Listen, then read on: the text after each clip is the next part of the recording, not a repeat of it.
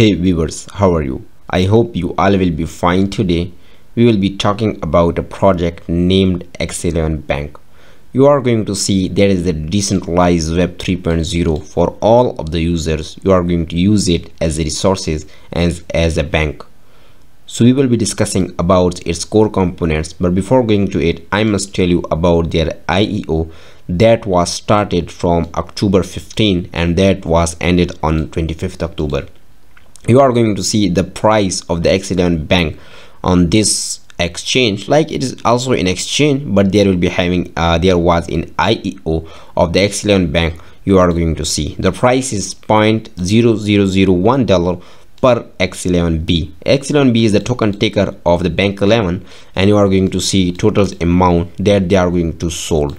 Look at their uh, system that is so successful on this Bank 11. You are going to see minimum amount buy was one dollar. That was approximately equal to 10,000 X11 bank tokens. And you are going to see the total token sales on this round that has been here so 58 lakh 10,859 X11 bank has already been sold and you are going to get about their rounds. And um, if you had already participated then this option there will be having shown your tokens that how much you have already participated on their uh, dex trade on their IEO the available currencies was only USDT. You have to buy USDT on the PancakeSwap or on an any exchange on there will be having some uh, about it. You have to deposit it through the USDT and you are going to easily buy it. Look at their official sites. That is bank11.io which has already been given in the description of this video. You are going to get about their social medias as well the frozen amount will be 60% IEO will get 20% and founders will get 10% with the same team and promotion both will get 5 5% each. You are going to get about this type of distribution. Look at the frozen amount. That has been 60% so the project has been some global financial system. You are going to get about the X11 bank. You are going to see total supply already been told you. The launchpad location their minimum purchase everything is told you. Minimum mm, purchase was just one dollar which is nothing in nowadays. So people are going to buy it.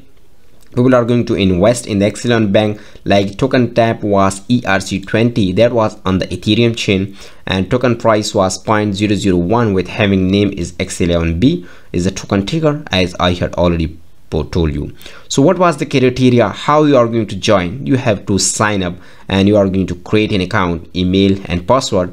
Just connect through it. And i think the token of the X11 bank will be listing in the same exchange of the dex trade. And furthermore it will be listing on more top class exchanges as it will be in the future. Its own exchange through which you are going to buy you are going to sell the X11B you are going to trade as a will here so that was the first video about the x11 bank how you are going to buy how you are going to work in their IEO launchpad their dex trade. In the next video we will be talking about what is x11 bank mainly and what are its features that is yet to come and we are going to discuss about it. Thank you so much guys for today's video. If you have any question regarding this great project i'm always here for you. Thank you so much guys. Take care of yourself. We will meet in the next one